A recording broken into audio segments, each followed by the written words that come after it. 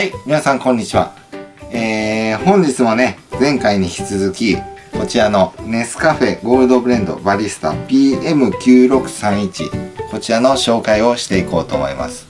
前回はね、えー、まあバラして洗って、えー、組み立てたっていう動画です。まああの概要欄の方にですね、あのそちらの方貼っておきますんで、えー、メンテナンスの際はそちらの方を見てやってください。で今回はね、えー、まあちょっとお得といえばお得ですし、あの経済的といえば経済的な使い方をしていこうと思います。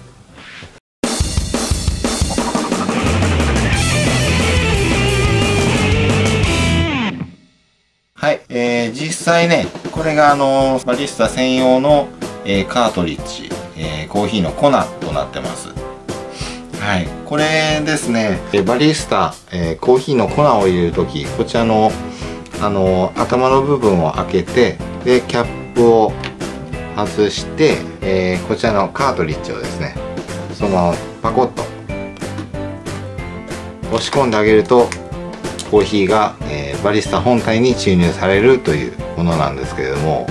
これですねまあまあ高いんですよね。こちらの方ですね。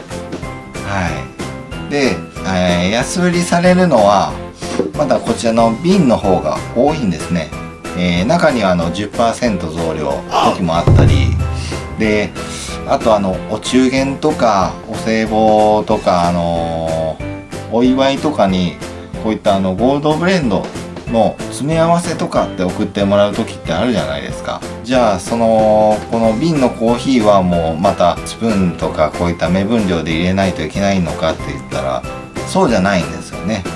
実際そちらのやり方を紹介していこうと思います。でこちらを用意しました。はい。これさっきと同じじゃないかと思うんですけども実際はもうちょっと使ってるんです。はい。これを使って、えー、こちらの安売りで買った瓶もしくは、えー、お中元でもらった瓶のコーヒーを使っていこうという方法を取りたいと思います。でね、あのー、こちらの、えー、上のゴムですね外してもいいんですけどもやっぱりこれを外したり入れたりするのってめんどくさいじゃないですか。で開け口もちょっとちっちゃいんですね。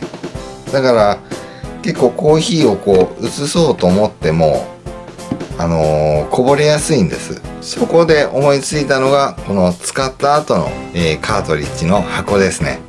はい。この空箱ですね。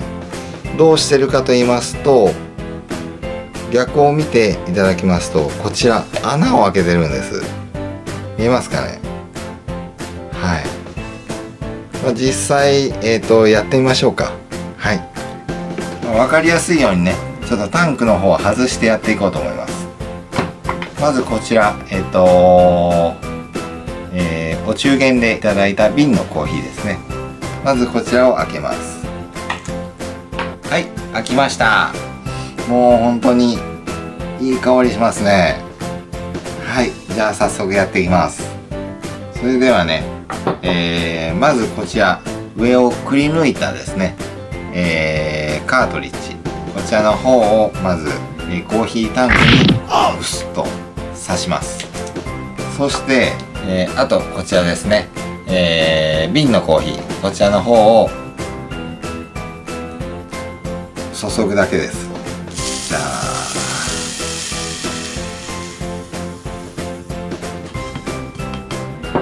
はい。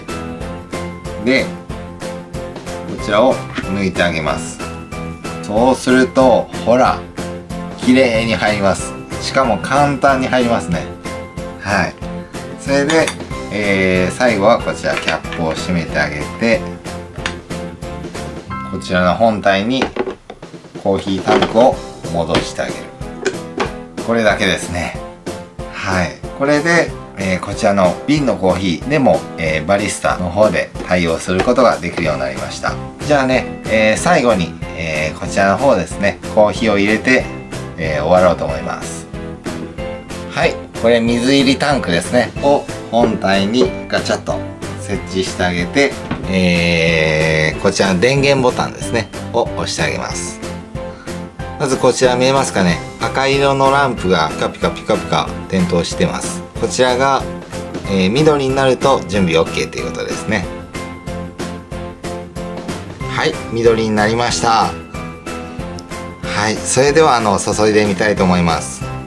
まずカップを、えー、こちらの抽出口ですねにセットしまして、えー、お好みのボタンですね。でいつも僕が飲むのは、えー、こちらのブラックブラックコーヒーですね。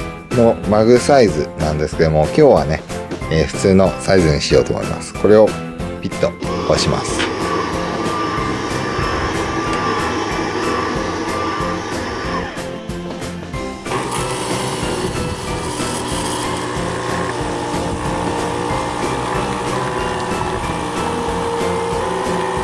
ジャーっと出てきましたね。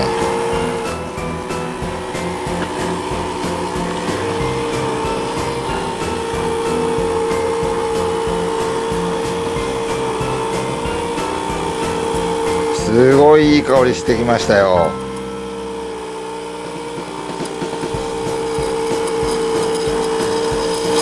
おもうそろそろかな。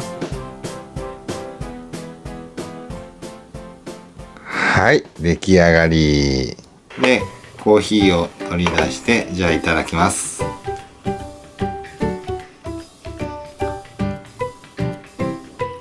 あー美味しい。この泡の部分ですね。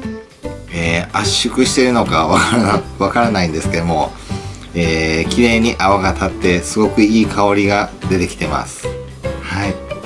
まあね本当にあのこういった瓶のコーヒーですねあとあの他社さんのコーヒーも対応できるようなんですけれどもまあ実際ね、え、ネスカフェの製品しかえっとまあちょっと保証しませんよっていうことなのでまあ、各自そちらの方は自己責任で行ってください。うん。でも大体ね、えー、フリーズドライのコーヒーならどれでもいけるんじゃないかなと思いますけどね。